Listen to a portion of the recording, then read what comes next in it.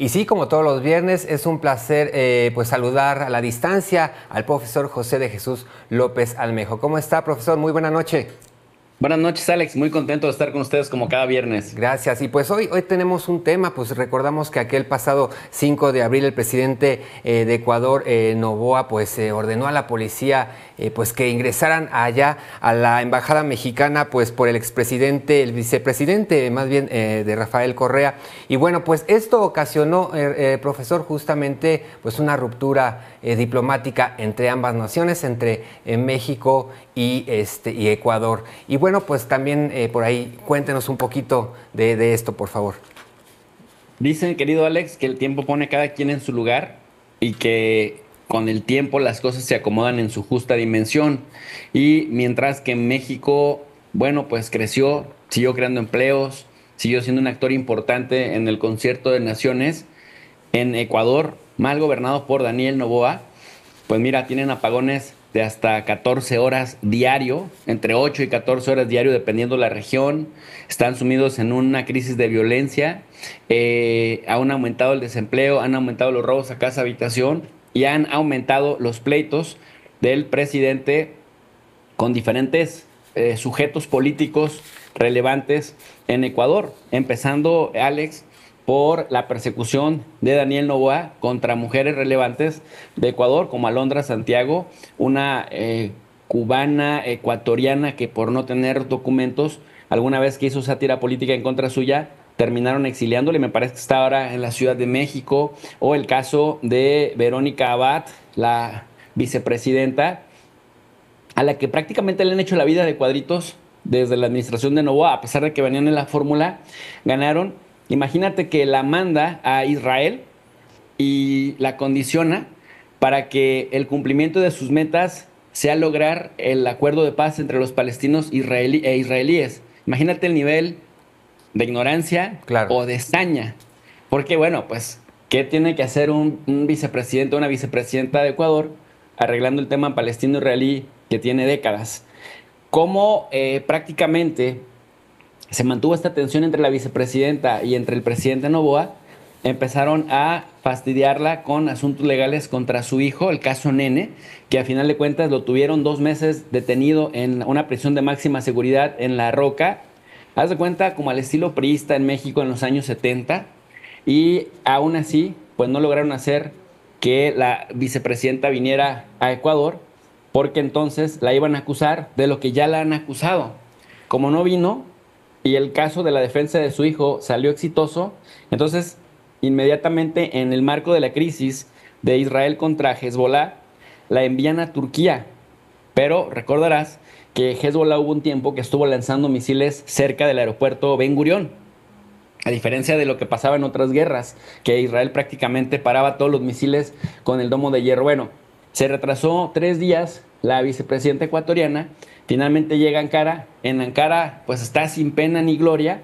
Y al final de cuentas, le dicen que como no llegó en los tres días que le ordenaron, pues entonces el Ministerio del Trabajo, que está sometido a la voluntad de Daniel Novoa, acostumbrado a violar el marco jurídico nacional, la suspenden por 150 días. La pregunta sería, ¿por qué la suspenden?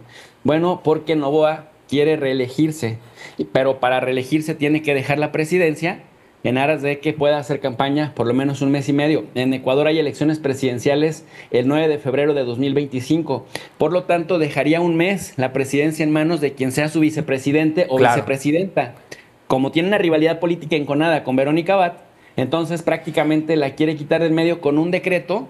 Por un lado, nombrando arbitrariamente a una vicepresidenta sin aprobación del Poder Legislativo y por otro lado, sacándose de la manga una suspensión de 150 días de todo ejercicio en la administración pública contra Verónica Abad, que ya la Asamblea Nacional pues ha echado para abajo, pero la Corte Nacional ha dicho que pues el proceso sigue. Entonces finalmente le preguntan a la, a la vicepresidenta, oiga vicepresidenta, usted que tiene serias posibilidades de ganar y de ser presidenta de Ecuador en enero, ¿Qué es lo primero que haría en materia de política internacional? Puesto que estuvo finalmente trabajando en el extranjero y llama la atención que dice arreglar las cosas con México.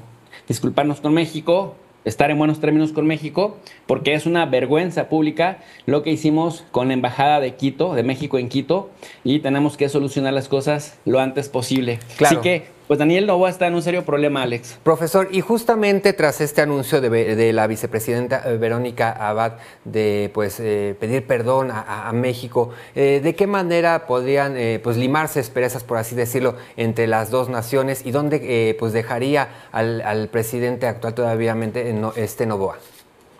Mira, pues rápidamente, México ha puesto como condición que se respete la figura del asilo político Jorge eh, Glass, ex vicepresidente de Correa y de Lenin Moreno, perseguido desde entonces por Lenin Moreno y después en tiempos de, Lazo y ahora de Daniel Novoa, pues es asilado mexicano y lo que compete, lo que corresponde es que, lo, que le den un salvoconducto y se venga para México.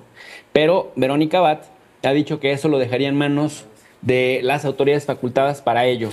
pero entiendo que no se quiere comprometer con ese tema porque le resultaría impopular, pero si se quiere reconciliar y reconoce que violaron la ley internacional, pues ese es el primer paso.